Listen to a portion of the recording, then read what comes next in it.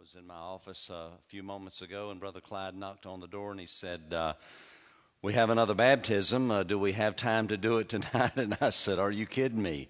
Of course we do.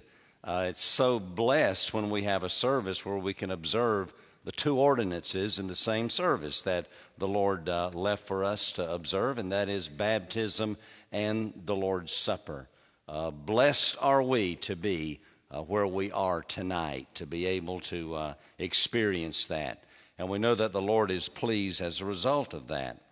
You know, every time, uh, not just once in a while, but every time that we find ourselves celebrating the Lord's Supper, we always come for one purpose, and that is to position ourselves beneath the foot of the cross and remember Jesus. And there is one specific thing that in the Lord's Supper service that we come together for to remember Jesus, and that is his suffering. And we know that because of the very elements that we use in this service. The juice speaks of the shed blood of Jesus, the bread speaks of the broken body of Jesus, and you cannot have blood and you cannot have brokenness apart from suffering. So, the one thing that we come to remember is the suffering of the Lord Jesus Christ. So, as we come together and we position ourselves before the foot of the cross, every time that we do this, I find myself in a position of humility because I realize that that suffering was for me. That's what we come to celebrate. His suffering was all about us. That verse I read this morning in my sermon in 1 Corinthians 15 and verse number 2 uh, or verse number three, the Bible says, I delivered unto you, first of all, that which I also received, how that Christ died for, underscore this, our sins, according to the Scripture. It was all done for us. And that's what humbles me when I think about what we are about here tonight. You know, it's really not a natural thing to sit around and to dwell on suffering, isn't it?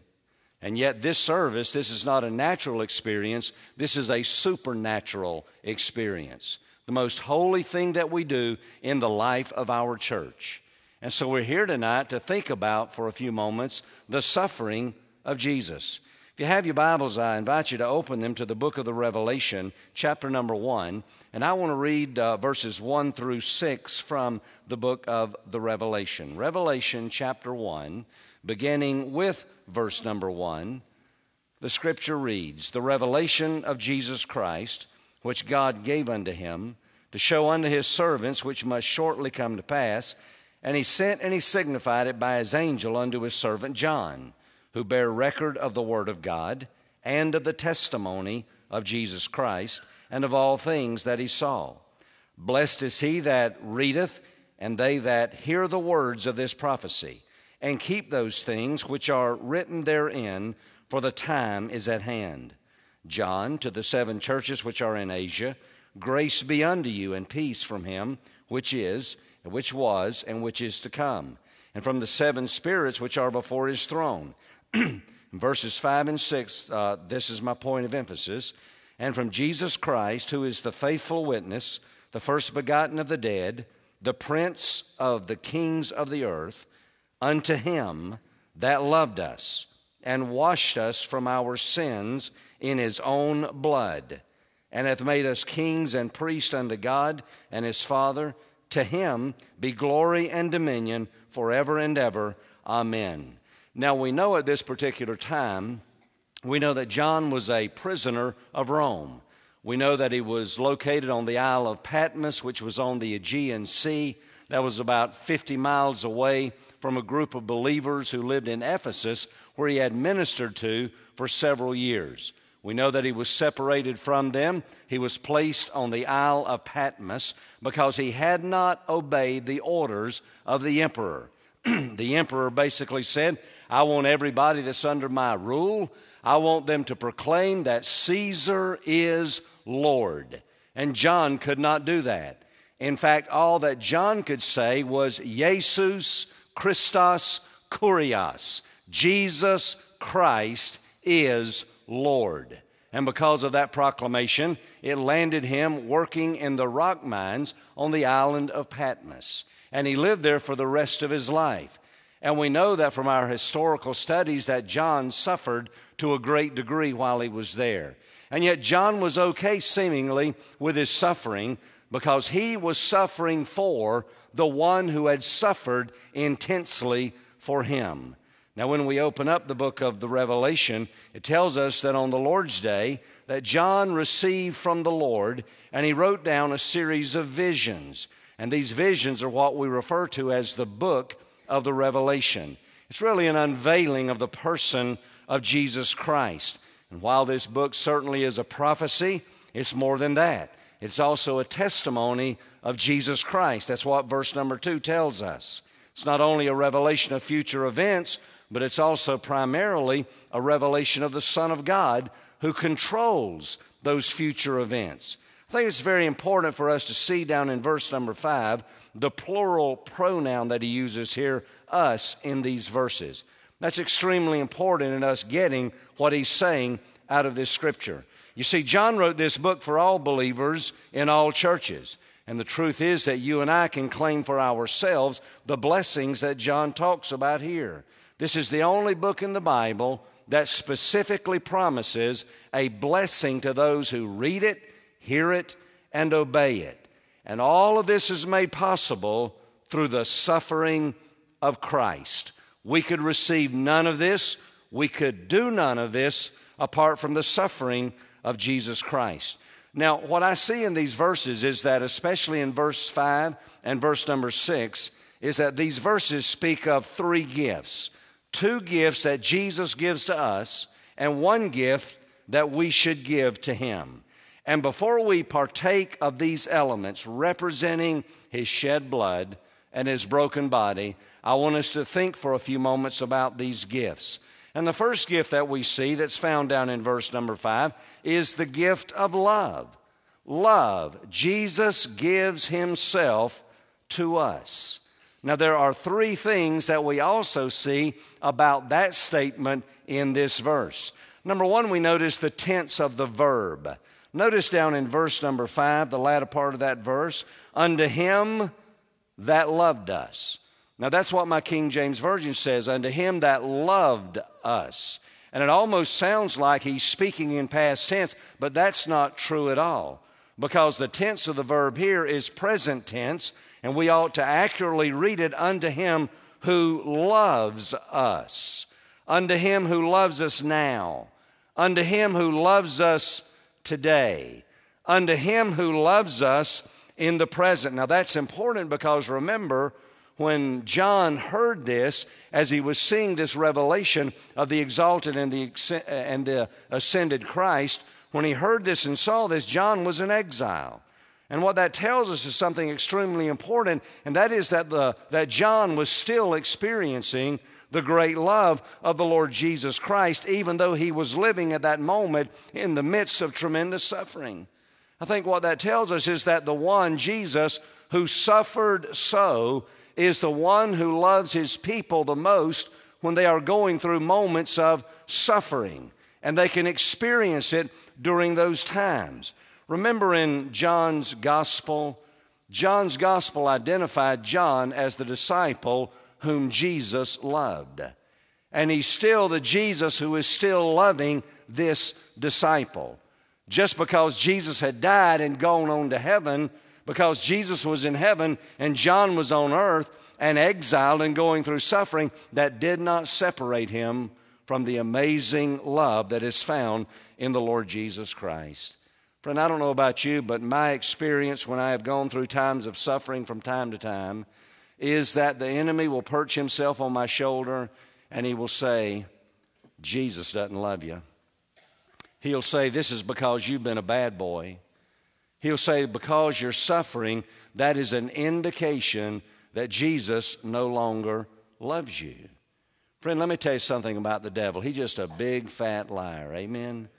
And that is not the truth.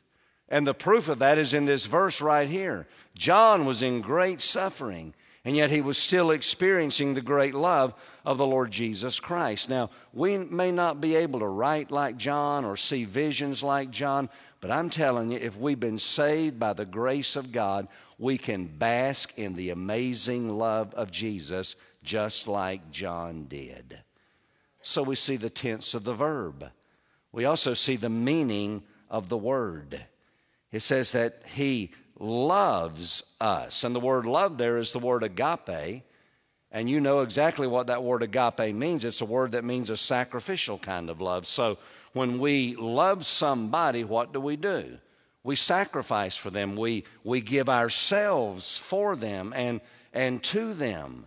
So when the Bible says that Jesus loves us, what it's saying is that God gave Himself for us. He by suffering death on the cross, and now because He loves us, He's constantly giving of Himself to us by His Spirit through His Word.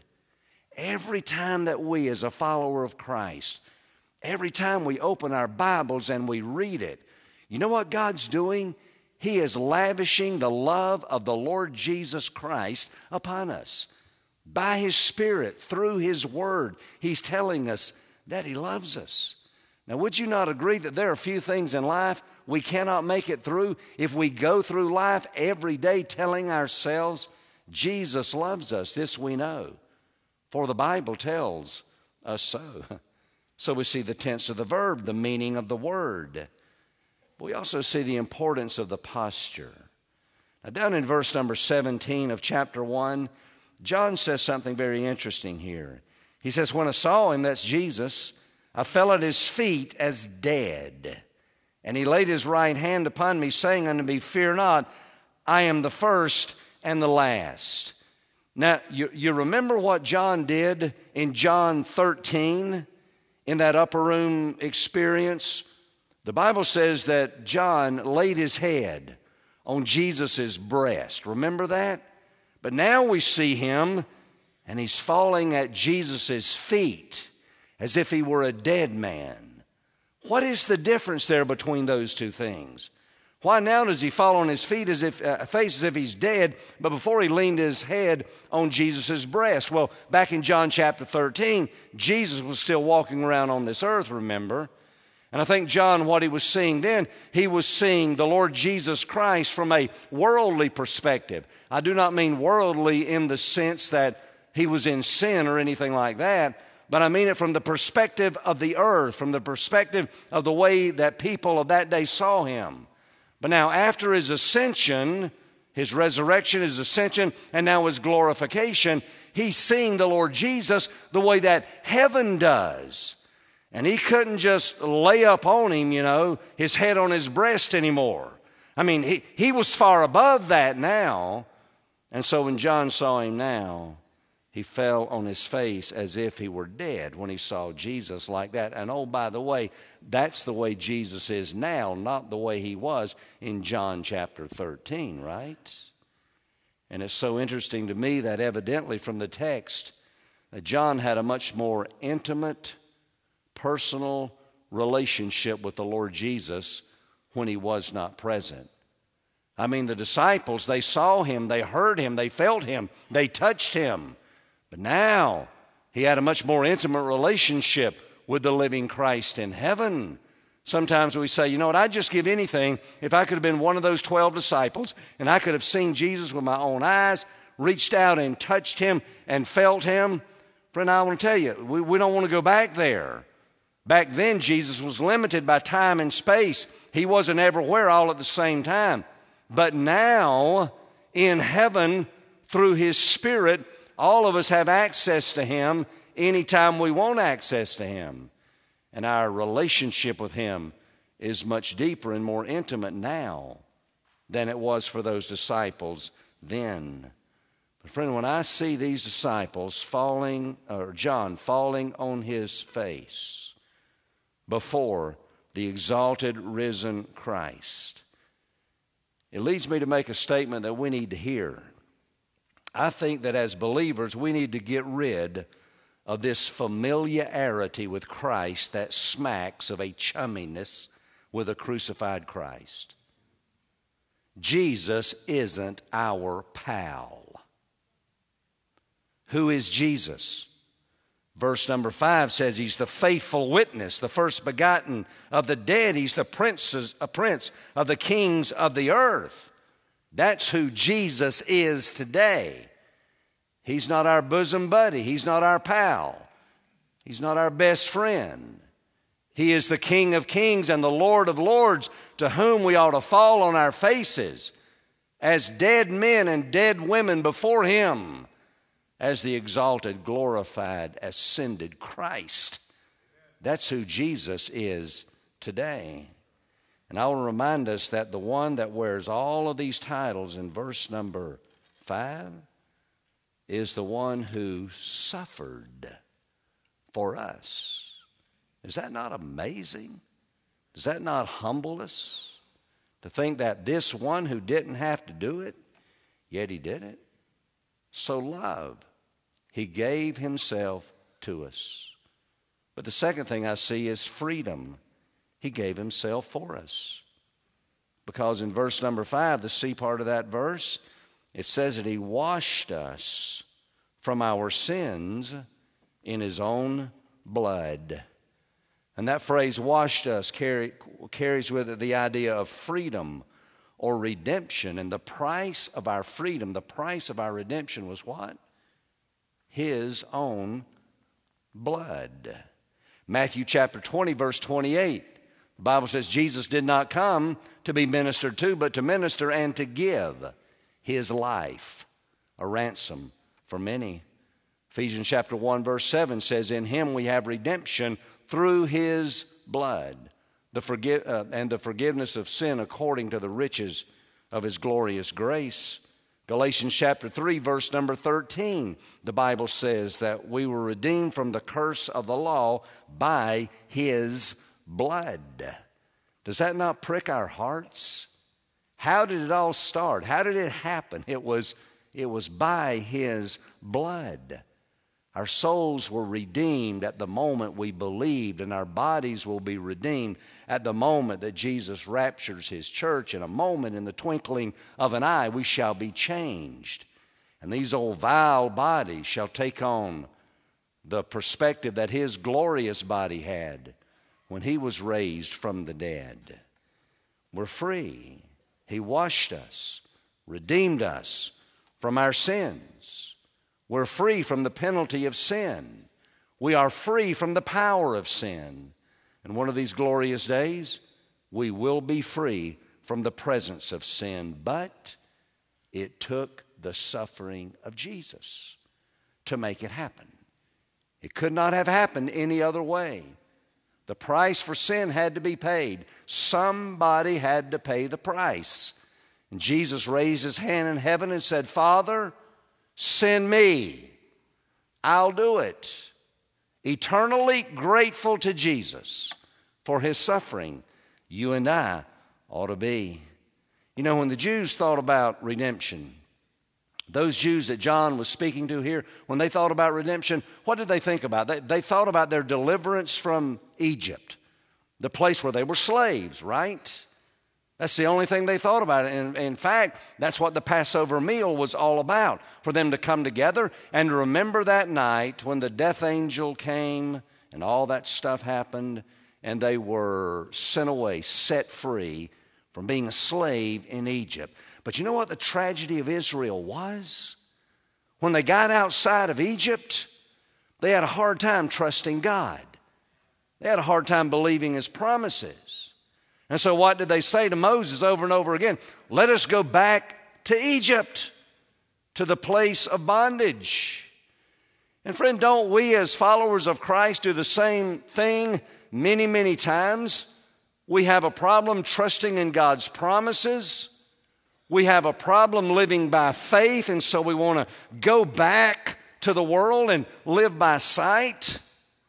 What a great tragedy that is because every time that we go back, you know what we are doing? We are trampling upon the very thing that was priceless, that gave us the freedom that we have.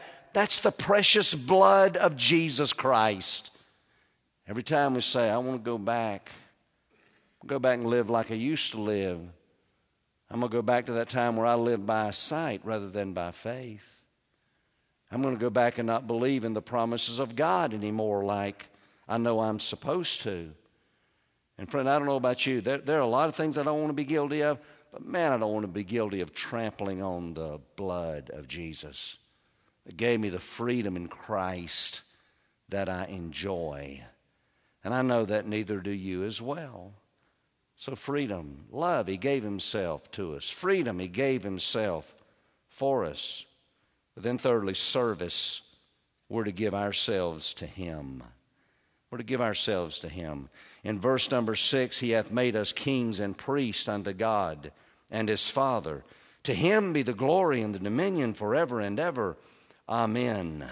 Ephesians chapter 2, verse 10, the Bible says that we are uh, created as His workmanship for the purpose that we might go and do good works.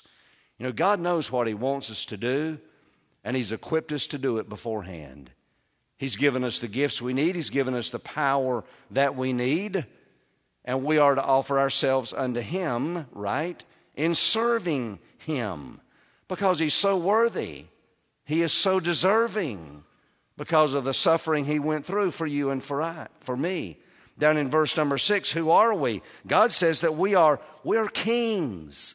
Man, as kings, we ought to live like kings, not like spiritual paupers, but as kings. As kings, we have the authority of his name. Acts 3 6 and 16. Acts 4, verses 10 through 12. As kings, we can come boldly to the throne of grace. Hebrews 4 14 through 16. As kings, we have access to his wealth. Romans 11 33, Ephesians 1 17, Philippians 4 19, and what wealth it is. As the old hymn says, My Father is rich in houses and lands. He holdeth the wealth of the world in his hands. Of rubies and diamonds, of silver and gold, his coffers are full. He has riches untold. I'm a child of the King, a child of the King. With Jesus, my Savior, I'm a child of the King. We're kings, right? We're His children. He says that we are priests in verse number six. He has made us kings and priests. Therefore, as followers of Christ, we ought to live our lives offering sacrifices unto Him, right? Because that's what priests do. Friend, moment by moment, Jesus gives himself to us. Moment by moment, we ought to give ourselves to him. In every moment of every day, we hear the Spirit of God speak to our hearts and, say, and says, Go here, do this.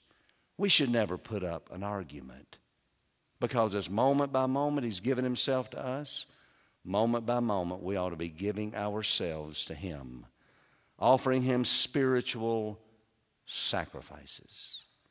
What are those sacrifices? Our bodies, Romans chapter 12, verses 1 and 2. Humble, broken hearts over sin, Psalm 51, verse 17. Believing prayer from the heart, Psalm 141, verse 2. Sincere praise, Hebrews 13, verse 15. Good works in Jesus' name, Hebrews 13, verse 16. Material possessions, including our money, Philippians 4, 14 through 19. People that we lead to faith in Christ. Those are spiritual sacrifices, Romans 15, verse 16, that we offer unto Him. So, friend, I ask us tonight in closing, I ask myself along with you. How much of a sacrifice are we making for the one who suffered for us? Jesus didn't just bleep out, oh, by the way, you're saved. He paid a price to be able to say that. His own blood. So, what is Craig sacrificing? What are you sacrificing as the result of that? So tonight, as we drink the cup and as we eat the bread, let us humbly think what am I? sacrificing for Jesus. Would you bow with me, please? And Father, thank you for your word that talks to us about your amazing sacrifice, the suffering in which you were engaged, all for the purpose of providing redemption for us. God, there is no way that we can compute in these puny minds of ours such an amazing sacrifice. But Lord, we can rejoice, we can thank you, we can praise you for it. And that's what we want to do tonight. In Jesus' name,